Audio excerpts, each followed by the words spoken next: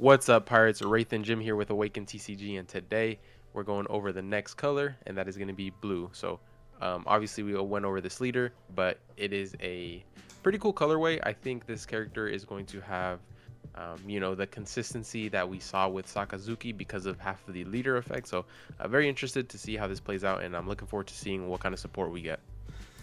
Yep, uh, so we actually covered this, as Wraith said, in the red video, but I'm just going to go over it really quick because all of the blue cards are for this leader in particular, so it's going to be Donix 1, activate main once per turn. You can draw one card and then place one at the top or bottom of your deck, so that's really good because you can set up uh, effects that uh, affect the top of your deck. And then you can get a free minus 2k power to one of your characters for the turn. So very similar to Sakazuki in the fact that we get a minus to something and then we get a cycle. Um, a little bit different, obviously, because this one actually has a cost. And um, it's a little bit different because you can place it on the top and not on the trash. But mm-hmm. after going over that real quick, let's get into our first card here. It's going to be Atmos. Uh, is a blue Whitebeard Pirates type character, 4 cost, 5,000 power with a 1,000 counter. It's going to read on play. You can reveal two cards from your hand that have the Whitebeard Pirates type. And then, if your leader has Whitebeard Pirates, return one of your opponent's characters with a cost of four or less to their hand. So, interesting. Um, I like this card. This card is specifically probably meant to play with another card that we're going to cover a bit down the line that plays a four cost for free. Um, but by itself, I think it's just okay. Um, you know, you factor in the other card we're going to talk about a bit later. I think this card's pretty okay. Yeah, I mean, it seems decent. You play four. You just have to reveal two cards from hand, correct? Yeah, two Whitebeard cards specifically. And then you return a four cost. I mean, that's not bad. I think um, that's a little bit of a momentum swing, and it's a, it's a nice body. Uh, four Don is kind of expensive. If it was a four six, I would love the card a lot more, but mm-hmm. uh, it's not bad. All right, and getting into the next card here, we have Aphelandra is a 3-4 with 2k counter for the Amazon Lily type, so this is meant to support Boa Hancock. From last set, it's going to be activate main, you can return this character to the owner's hand. If your leader has the Kuja Pirates type, place up to one opponent, uh, one of your opponent's characters cost of one or less at the bottom of the owner's deck. Um, so, this card I think with the other Amazon Lily cards, yeah, this card is also bad. Um, very. very. It's a 2K, um, and I think that is the only reason you play it if we were playing the Amazon Lily package, but that package is already bad, so I don't know. We're, I don't know any deck that would ever play this card. Mm-hmm. Yeah, no, definitely trash. All right, and next up here, we've got Edward Weevil is a 4-5 with a 1,000 counter and the 7 Warlords of the Sea type. So this is a 4 cost that can be played with Doflamingo, uh, Blue Doflamingo specifically. It's going to be a Don X1 when attacking, return up to one character with the cost of 3 or less to the owner's hand. So interesting card. I think the Dofi list is kind of like agreed upon by now. Um, would you add this in? I don't really know. That the deck kind of struggles with removal, early removal at least, because um, you know they run cards like Red Rock and um, Raging Tiger. So you know small cost stuff is kind of awkward to remove. Maybe you'd add this because of that, but I think we have enough targets by now that we really didn't need any more support. Yeah, I mean this this card is uh is decent at best. Um, there's not much three costs or lower characters that are being played, especially in 07. The meta is kind of slower, bigger bodies, mm-hmm. so um, not sure how this will fit in the meta and or if it's even needed. Yeah, wouldn't be surprised if we never see this guy. But speaking of a card, we are definitely going to see. This is Edward Newgate. Uh, my, can I just say this art is really sick for, especially the standard art for the SR. It's going to be a 10-12 with the four Emperors and a Whitebeard Pirates type. He's going to read on play if your leader has the Whitebeard Pirates type and you have two or less life. All of your opponent's characters will have to trash two cards uh, before they attack. You have to trash two cards from your hand. Um, so basically, what this means is your opponent cannot attack with their characters unless it is possible for them to trash two cards, if they would even want to do that. Um, few scenarios, let's say they only have three cards in hand and they have a really strong board. If you just play this card, they can only swing with one character on board because they have three cards in hand. Because if they want to attack again, they only have one card to discard, therefore, you do not meet the condition to actually attack in the first place. Um, in another scenario, say they have a ton of cards in hand and a good board, even if you play this card, they're probably just not going to attack. Trashing 2 mm-hmm. cards is really bad. Um, so I think back to backs of this card is going to be absolutely devastating. This card is insane. Yeah, I mean, if you get to play this card on curve, where you know you're still in the mid game, barely entering late game, your opponent's not going to want to mill their hand just to swing, right? So it gives you a whole turn um, to just uh, build that board up, see how they're going to respond. They'll probably end up just trying to establish more of a board, um, but now you just have a, a 10-12 ready to swing uh, on your opponent's turn, and then like uh, Jim was saying, if you chain these, um, you kind of just win the game. Yeah, no, th- this card is a menace. I think the only thing holding it back is the fact that it is your entire turn's worth of Don. Mm-hmm. So, like, you can't use Marco Leader effect unless we had a card that attaches Rested Don, which is possible. Um, and there is a There's Whitebeard card uh, that does that. A lot of cards, yeah. Yeah. Um, but yeah, insane card. Um, also to mention, it is only playable in the new Marco leader, but there is another leader we can play it in, and that is Blue Yellow Ace from the starter deck um, which I think is an interesting thing, and we'll see if that deck decides to run this. Next up here, we've got Kingdew is a 4-4 with 2k counter and the Whitebeard Pirates type. This is going to be activate May once per turn. You can reveal two cards from your hand with the Whitebeard Pirates type, and then this character is going to get 2k power for the turn. So, a 2k that is turning itself into a vanilla. Um, I think this is pretty good as far as 2ks go, especially considering the 4 cost synergy uh, we're going to look at a little bit later. Um, I think you're just definitely running this as a four of. Yeah, right. Searchable and it's 2K. Uh, I agree. I think this is going to be a staple. Yeah. Uh, next up here, we've got Thatch. Is a 4-5 with the Whitebeard Pirates type and a 1,000 counter. It's going to read, if this character is KO'd or leaves the field due to the an opponent's effect, you can place this character in the trash and draw one instead. So pretty much you are turning any bottom deck, um, KO effect, whatever removal your opponent wants to use on this card. Um, you are just saying, okay, I'm going to the trash. So if you're going to bottom deck me, I'm not going there. Um, and then I'm going to draw a card for uh, what you did. Um, so it's a 5k body. It's not like this is the most like scary body ever that they're going to need to remove. Um, but I think it's like a cheeky little effect that, depending on the meta, could be pretty decent. Like this works against RP Law, like bottom decks put it, puts them to trash instead. Um, mm-hmm. Like I think it's pretty good. You know, draw a card if you want to remove me, right? It's not bad against the removal meta. Yeah, definitely replace itself when you KO it or remove it from field. Uh, definitely uh, an interesting card. Uh, definitely interesting. I think this might see some play. I think it's pretty good. Yeah, I think a medical for sure. Um, next up here, we've got uh, Shocky is a 5-6 with a 1,000 counter and the Amazon Lily type. It's going to be during your turn, once per turn. When a character leaves the field due to your effects, if your opponent has five or more cards in their hand, your opponent puts one card in their hand on the bottom of the deck. And then after that, rest this character. So I saw a lot of people saying that, oh, well, now I can attack with this character if I do that effect. It's like, no, the the rest this character effect is after the fact. So mm-hmm. you can attack with this first and then still get its effect off, um, and you just won't need to rest it, right? Because it's already rested. Um, so in Boa, this is pretty good, right? It's decent. Um, it is a, like playing out five Don to do nothing, which I wouldn't be surprised if we don't want to do, but like the effect is strong. Yeah, I think uh, we'll we'll probably see this card played in Boa. I think it's pretty strong. Um, not much else to say. Um, yeah, I, mean, I think the fact that it bottom decks and not like makes them trash a card is really good, especially against black decks. Yeah. Um, and next up here, we've got Jozu is a 6-7 with a 1,000 counter, Whitebeard Pirate. It's going to be on play. You can return one of your characters to your hand, other than Jozu, and then return up to one of your uh, opponent's characters the cost of 6 or less to the hand. So, Busted. yeah, this card is really good. Um, a 6-7 body is like a really good stat line. And the fact that you can just like return a one cost Izo searcher and then send back one of their six costs, like that's really good. Um, this card's really solid.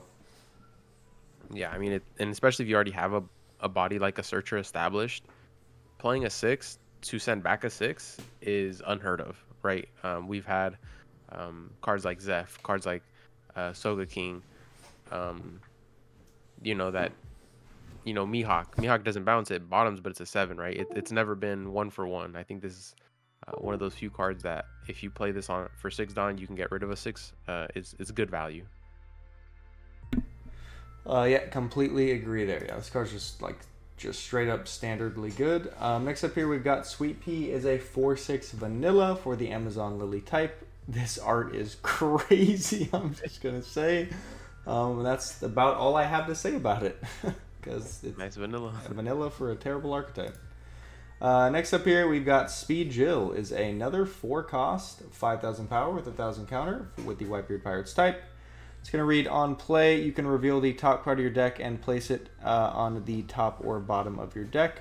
If the revealed card has a characteristic including the Whitebeard Pirates type, this character gets rush for the turn. So basically, uh, combos with the Marco leader because you can specifically put a Whitebeard card to the top of your deck and guarantee that this is a 4-5 rush.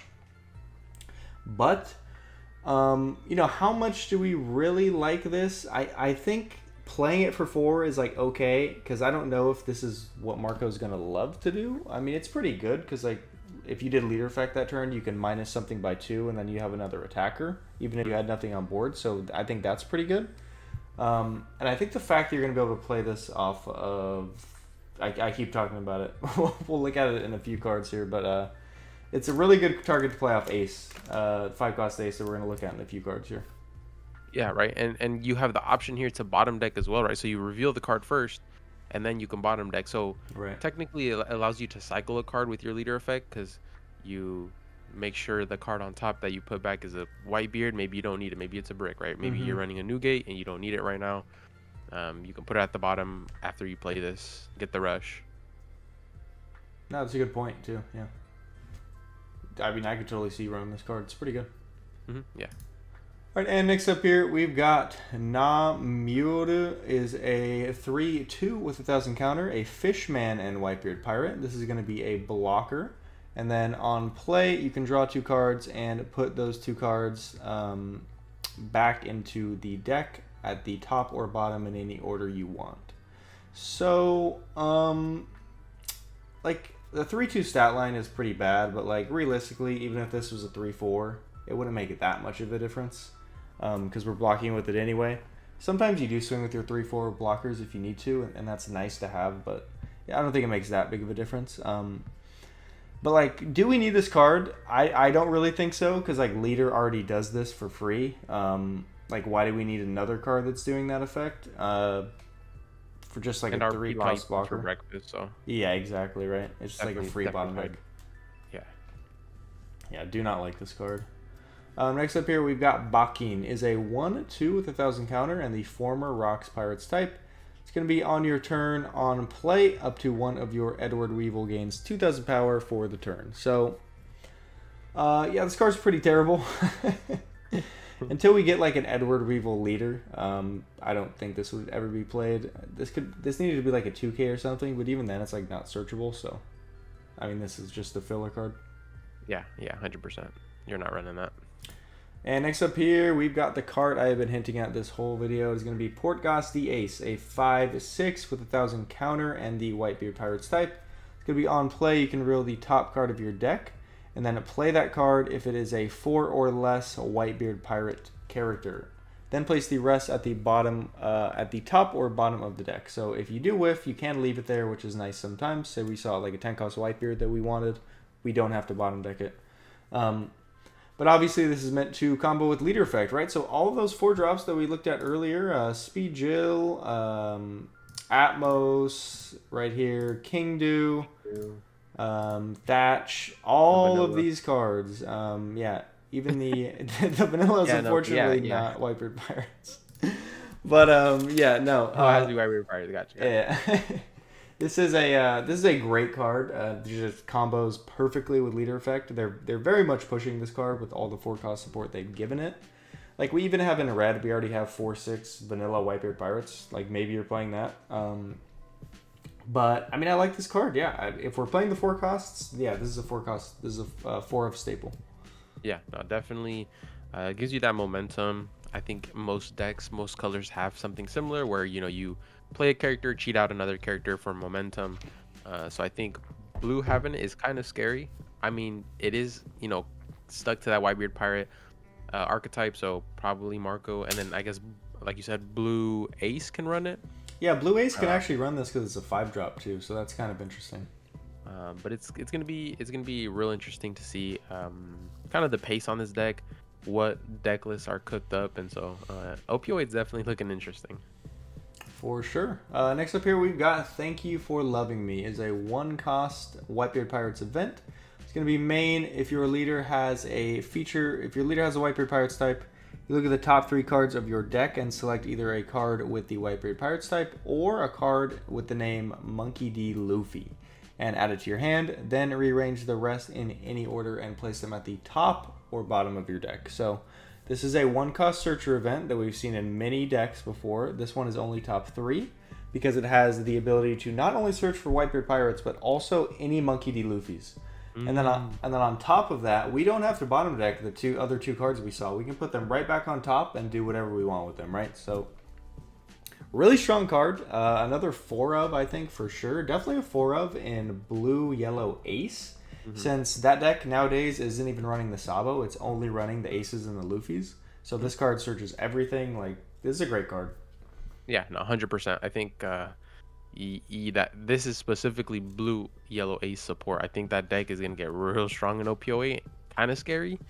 Um, because right now I definitely need some help. Yeah, I mean it's like decent, but I don't think it's there yet. It's such a cool leader too. Yeah, it is really fun. Next up here, we've got, I guess I won't be able to get the king all of a sudden. That is a long name, and I'm going to say it's pretty inaccurate, but we're going with it. It is a three-cost Whitebeard Pirates counter event. It's going to read on counter for 3 Don, give your leader or up to one character, plus 3,000 power during the battle. After that, reveal the top card of your deck and uh, play up to one Whitebeard Pirates type character with a cost of 3 or less. Then place the rest at the top or bottom of the deck. So uh, wow. I mean, leaving up three Don for a 3k counter is already really bad. But then, I mean, this the effect we're getting from it is we get to play out a three cost. Um, like we've only seen out of all these cards, the only three cost actually gave us is this one that we already agreed was pretty terrible. Um, so I think this card's bad. Uh, like you never want to leave three Don up. You want to actually do something with your turn. Um, like if if we're green purple Doflamingo, like yeah, maybe this card's good, but we're not. We're Marco who wants to attach the lead and then play stuff. Like there's no room to leave three Don up, and I and even if there was, uh, it would have to be for a really strong effect, uh, and this is not it. Yeah, I mean, 3,000 counter and playing a 3 cost seems very weak for 3 Don. That you have to leave up not only um, uh, like you have to leave it up on your turn basically. So it means mm-hmm. your turn's gonna be very weak. Yeah. So uh, shit, very shit event. Very that's a bad event. Capital H or capital S shit. Uh, this is gonna be a four cost former Whitebeard Pirates event. I am pr- almost positive this is still searchable with the one cost Izo since it searches for anything with Whitebeard Pirates in the type. It's going to be Phoenix Seal and it's going to be main. You can reveal two cards from your hand with the type Whitebeard Pirates. And then place up to one character with the cost of six or less at the bottom of the owner's deck. So this is kind of like a super 3000 Worlds. 3000 Worlds is a four to bottom deck of five unconditionally. This is a conditional four cost, bottom deck is six. Um, who I actually don't know how to evaluate this card. Um, just looking at the meta right now, like obviously we know like the best decks are kind of like Lucci, RP Law, stuff like that that usually have like five or lower. So like hitting the six instead of five isn't really that big a deal, and we already weren't running 3,000 worlds. So truly, I don't think this card's very good. Yeah, I mean it, it depends what the meta is looking like. It, it could be a meta call card, um, at the very least, right? Yeah. And then one one thing to know about all these reveal cards is you could i'm thinking you can just reveal the same two cards in your hand every time when you use these type of effects right oh 100% yeah just give your opponent no information after the first two and then you're you're basically golden. But um, so from that aspect you actually don't have to give your opponent that much information for these effects. So at first i was kind of worried. I'm like well your opponent's going to know your whole hand if you have to keep revealing your hand. But uh, it's not necessarily the case. So um, yeah, that's uh, great yeah uh, as far as this card goes maybe a Metacall. Um, probably won't be running it uh, just as like a um, card for the actual deck uh, until it is warranted. Yeah, I think the only decent target I can even think of that this hits is six cost Hawkins and Bonney, but like. And uh, six cost Sakazuki and Moria, but besides that. oh, they that, do run that now. Yeah, that is. But besides that, um, yeah, very few. Yeah, six cost is pretty rare. Six cost Boa as well is another one, but even then, like I don't know if we're running that. Um, next up here, we've got Moby Dick is back as a stage. Um, this one, though, probably not going to get banned because it is nowhere near as good as the one from OPO2. But this one is going to be during your turn, once per turn, when your character with a with a Whitebeard Pirates type leaves the field due to any effect, you can draw one card. Then place one card from your hand at the top or bottom of your deck. And then the trigger, same as the two cost Moby Dick from OPO2, is going to be just playing out this card for free. Um, so, playing two to get like a possible cycle, like a few turns through the game, when our leader effect already cycles, just sounds like redundant and bad to me. Uh, maybe I'm wrong. Um, I think it's gonna fully depend on how tight the deck actually is in terms of um, staple cards and, and what actually is ran. Because there's some decks where you can only make three or two or three changes, like uh, OPO5 Sakazuki. Right, that deck was basically all like you know already made. 47 cards were like like staples that like you could not remove them, and then there was three that you kind of kind of couldn't move around. Uh, so I'm not sure how much space a deck like this will actually have uh, to run cards like this. Um, if it's possible, cool. But I mean, the effect is just decent at best. Um, and then especially, um, you know, you're gonna have a good amount of removal decks, but OPO8 is kind of like, you know, moving away from removal and more of like with carrot with being able to freeze, mm-hmm. um, stuff like that, which is, I think is gonna be uh, at the top of the meta, which is going to be really strong. And then that's going to make this card uh, basically useless. Well, also, this is only your turn. So if your opponent removes stuff on their turn, this card does nothing. Mm, true, true. Which makes so it has to be your effects. Your effect. Not yeah, this card's not good. yeah, garbage. Never mind. all right, pirates. Thank you guys so much for watching until the end of this video. Uh, we hope you guys enjoyed all the blue cards. There's definitely some spicy stuff in here, like that ace, that Newgate, um, especially that one drop event where you can search the top three, get a Whitebeard Pirates or a Luffy, and then rearrange at the top or the bottom. That's going to be a very, very good card in Blue Yellow Ace, in my opinion. Uh, but that is going to be it for this one. Make sure to like this video, comment down, comment down below, subscribe to our Patreon because uh, the giveaways we've been doing have been leaving us broke. So subscribe to our Patreon, and uh, we'll see you guys on the next one. Peace.